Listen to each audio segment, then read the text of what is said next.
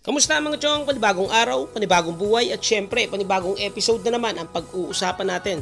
Unti-unti nang nasusubukan ng lakas at galing ng Converge Fiber Xers. Kanina lamang ay mas nasubukan na improvement ng Fiber Xers. Kung matatandaan nyo sa dalawang naging tune-up games nila, nanalo sila kontra sa Rain or Shine at nung nakaraan lamang ay sa Dilasal. Halika mga chong at panoorin natin ang naging laban nila kanina.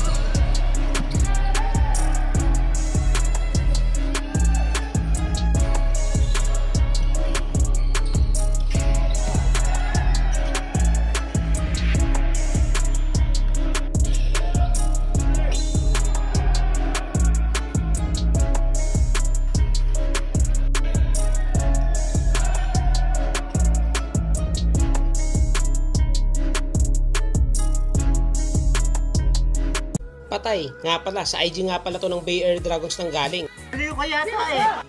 Tanga talaga. Siyempre nga naman, yung highlights ng Bay Air Dragons ang kukunin nila.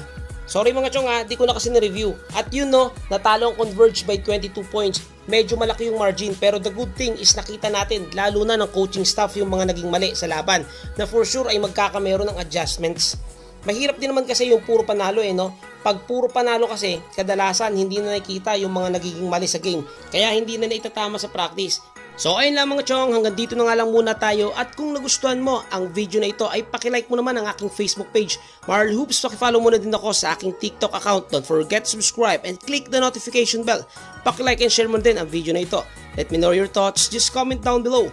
By the way, this is Marl Hoops. I'm out. Bye-bye.